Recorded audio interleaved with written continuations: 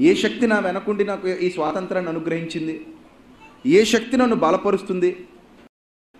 ఏ శక్తి నన్ను స్థిరపరుస్తుంది? ఏ శక్తి నాకు ఈ శక్తిని ప్రసాదించింది? నాకు ఈ జీవితాన్ని ప్రసాదించింది? ఈ భావాలు మనిషిలో ఉంటే ఆగి ఒక్కసారి ఆలోచించేవాడు. ఎవడో ఆగట్లేదు. అందుకే ఆగడో అంటారు. ఎవడట వీడు? ఆగడట. ఏ పాపం? ఎందుకు ఆగడు? ఆగడంతే. అంటే మనిషి ఆలోచించడానికి కూడా ఆగే పరిస్థితిలో లేడు. ఆలోచించే పరిస్థితిలో లేడు. నూతనముగా దేవుని వాత్సల్యం పుడుతుంటే దాన్ని అనుభవిస్తూ ఏమంటే ఒక్కసారి మనకు మనం పరీక్ష చేసుకుంటే ఈరోజు ఒక మట్టి ఆకారం ఈ ఆకారం ఈరోజు ఈ ఈ పొజిషన్లో ఇలా బతుకుతుంది ఇక్కడ నడవగలుగుతుందంటే కారణం నా వెనకున్న ఒక అంతర్గతంగా ఉండి నన్ను నడిపిస్తున్నటువంటి ఒక మహాశక్తి. ఆ శక్తి లేకపోతే ఇక్కడ నాకు భుక్తి లేదు. ఆ శక్తి లేకపోతే నాకు ఈ జీవితం లేదు. ఆ శక్తి లేకపోతే నాకు ఇక్కడ నడకలేదు. ఆ శక్తి లేకపోతే నాకు ఇక్కడ ఏమీ లేదు. ఆయనకు వాత్సల్యం మన మీద పుడుతుంది గనుకనే ఈరోజు మనం ఇక్కడ హాయిగా ఆనందంగా జీవించగలుగుతున్నాం. ఈ వాస్తవం అర్థమైన ప్రతి మనిషి అమ్మో ఆయన ఉన్నాడు ఆయనకు వాత్సల్యం పుడుతుంది కాబట్టి నాకు బ్రతుకుంది. ఆయనకు నూతనంగా వాత్సల్యం పుడుతుంది కాబట్టి అనుదినము అంటున్నాడు. అంటే ఎవ్రీ డే ఎవ్రీ డే అంటే ఎవ్రీ డే నా మీద ఆయనకు ప్రేమ ఉంది కాబట్టి రోజులు వస్తున్నాయి వస్తున్నాయి వస్తున్నాయి వస్తున్నాయి. మన జీవితంలో ప్రతిరోజు కొత్తదే ప్రతిరోజు కొత్తదే. కొత్త సంవత్సరాలు ఇవ్వట్లేదు నీకు. కొత్త రోజులు కొత్త క్షణాలు కొత్త కొత్త నిమిషాలు కొత్త సెకండ్స్ ఇస్తున్నాడు.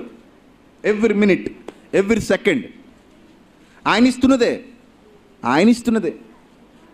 ఈ మధ్య మనుషులు పుట్టినరోజు సంవత్సరానికి ఒకసారి చేసుకోవడం మానేసి ఫస్ట్ సంవత్సరం అంతా ఏ నెల కానేలు చేసుకోవడం మొదలెట్టారు? తెలిసే ఉంటుంది మీకు. సిటీల దగ్గర నుంచి మొదలైంది. మన సినిమా సింగర్ హేమచంద్ర కూడా ప్రతి నెల వాళ్ళ అమ్మాయి ఫోటో ఫేస్బుక్లో అప్లోడ్ చేస్తున్నాడు.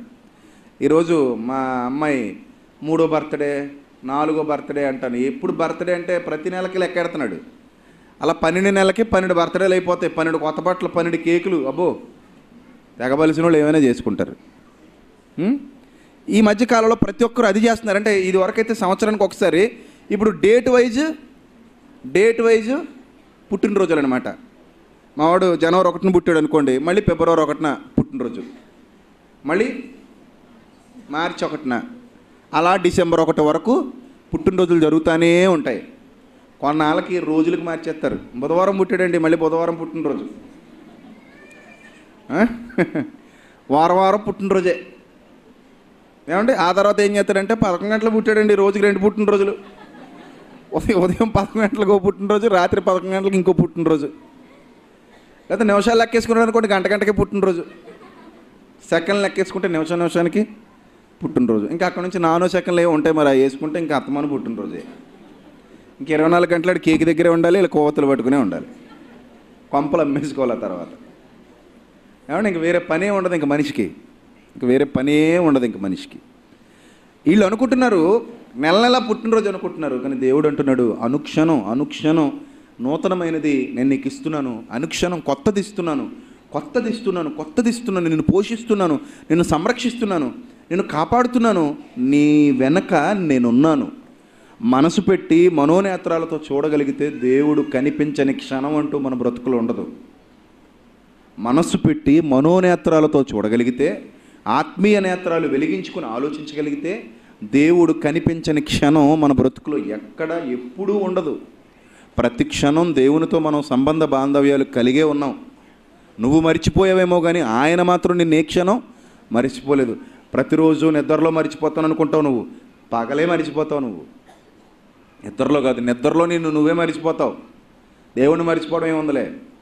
నిద్రలో మనల్ని మనమే మర్చిపోతామండి. మనకి ఏం గుర్తుండదు మన ఇంట్లో ఏం జరుగుతుందో గుర్తుండదు. మనకేం జరుగుతుందో గుర్తుండదు. నిద్రలో మనం అన్నీ మర్చిపోతాం కానీ పగలు కూడా దేవుణ్ణి మర్చిపోతాం.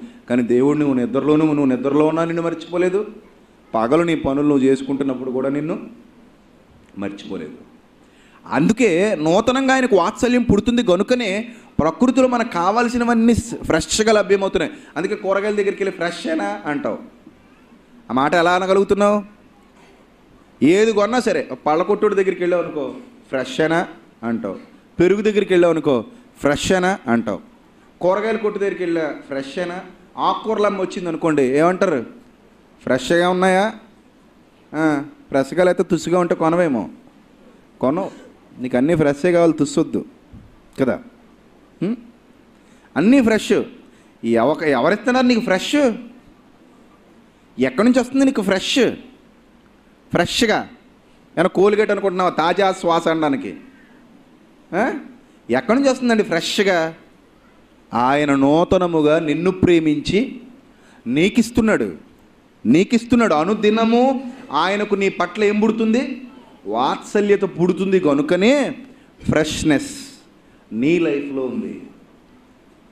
నీ లైఫ్లో ఫ్రెష్నెస్ ఉందంటే అనుదినము ఆయనకు పుడుతున్నటువంటి వాత్సల్యత. ఒక్కసారి ప్రపంచాన్ని చూడగలిగితే ప్రపంచంలో ఆయనకు వాత్సల్యత ఉంది అని రుజువు చేయడానికి ప్రకృతి అంతా ఏకంగా నిలబడుతుంది. నీ తండ్రికి నీ మీద వాత్సల్యత ఉందని ప్రతి మనిషికి చెప్పడానికి ప్రకృతి అంతా ఏకంగా ఒక చోట చేరుతుంది. ఏకంగా నిలబడుతుంది. ప్రకృతి అంతా ఏకముగా నిలబడి నీకు సాక్ష్యమిస్తుంది.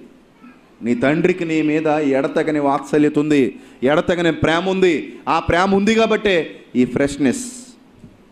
ఫ్రెష్ ఫ్రెష్గా సంవత్సరం సంవత్సరం కొత్త పంట కొత్త పంట. కొత్త కూరగాయలు కొత్త ఆకుకూరలు కొత్త శ్వాస కొత్త గాలి. కొత్త కొత్తగా అన్నీ అనుభవిస్తున్నావు. కానీ దేవుడు అంటున్నాడు ఈ తరంలో ఉన్న నీకు ఇది కొత్త ఏమో కానీ నాకు ఇది కొత్త ఏమీ కాదు నాయన. నాకు ఇది కొత్త ఏమీ కాదు. అందరినీ ఇలాగే ప్రేమించాను. అందరినీ ఇలాగే పోషిస్తున్నాను.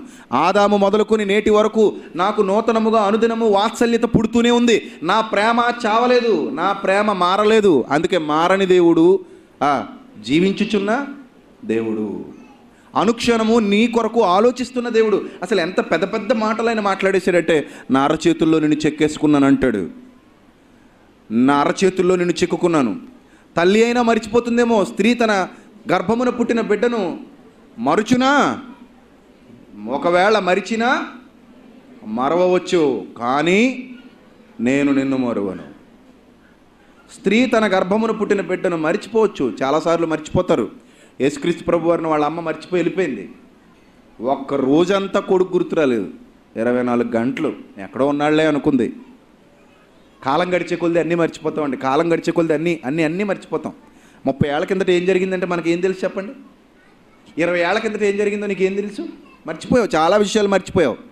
అలాగే మరీ కూడా తన జీవితంలో చాలా విషయాలు మర్చిపోయి చివరికి పన్నెండేళ్ళకే కొడుకును కూడా ఏం చేసింది? మర్చిపోయింది. ఒక్క రోజంతా వదిలేసిందట. కానీ భర్తతో మాత్రం వెళ్తుంది మా తల్లి. భర్తతో మాత్రం వెళ్తుంది ప్రయాణం చేస్తుంది. భర్తను మర్చిపోలేదు. ఇద్దరు కలిసి పోతున్నారు గోరింకల్లాగా. ఆయన మాత్రం మర్చిపోయారు. అప్పుడు ఒక రోజు ప్రయాణం తర్వాత వెనక్కి వచ్చారు వెనక్కి వచ్చి మళ్ళీ ఆయనమే సీరియస్ అయిపోతుంది. ఏమైపోయావు నాయన? ఎంత కంగారడిపోయింది తెలుసా? నాన్న నేను అంటుంది. అది తల్లి పరిస్థితి.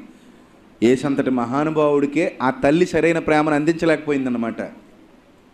కానీ దేవుడు ఎన్నడు మరువడు విడువడు అనడానికి ఈ ఒక్క ఆధారం చాలు. ఈ ఫ్రెష్నెస్ ప్రకృతిలో ఉంది చూశారు? ప్రకృతిలో ఎప్పటికప్పుడు ఆయన ప్రేమను మనం అనుభవిస్తూనే ఉన్నాం. ఆయన ప్రేమను మనం అనుభవిస్తున్నాం. ఆయన ప్రేమను అనుభవించని పరిస్థితి అంటూ మన బ్రతుకులో ఏది లేదండి. ఏది లేదు. ఈరోజు న్యూ ఇయర్ కాబట్టి ఈరోజు మీకు గిఫ్ట్లు రావచ్చు గ్రీటింగ్స్ రావచ్చు మీ వాట్సాప్లో హ్యాపీ న్యూ ఇయర్ అన్న మెసేజ్లు నిండిపోవచ్చు మీ మొబైల్లో మెసేజ్లు నిండిపోవచ్చు. చాలామంది మిమ్మల్ని విష్ చేయొచ్చు. ఆ విష్ చేయడాన్ని బట్టి మీరు చాలా హ్యాపీ ఫీల్ అయిపోతారు. పలానా ఆయన నాకు విష్ చేసి పలానా ఆయన నన్ను విష్ చేశాడండి పలానా ఆవిడ నన్ను విష్ చేసిందండి నన్ను గుర్తుపెట్టుకున్నాడు. నీకు నీకు ఇంత ఆనందం ఎందుకు వచ్చేస్తుంది? పలానా ఆయన నన్ను ఏం చేశాడు? గుర్తుపెట్టుకున్నాడు. పలానా ఆమె నన్ను ఏం చేసింది? గుర్తుపెట్టుకుంది. నా ఫ్రెండ్ నన్ను గుర్తుపెట్టుకుంది. నా వాళ్ళు నన్ను గుర్తుపెట్టుకున్నారు. గుర్తుపెట్టుకున్నారు కనుకనే నాకు ఏం చేశారు? విషెస్ చెప్పారు. విషెస్ చెప్పినంత మాత్రాన వాళ్ళ మీద నీకు ఇంత పాజిటివ్ దృక్పథం కలుగుతుంటే అసలు విష్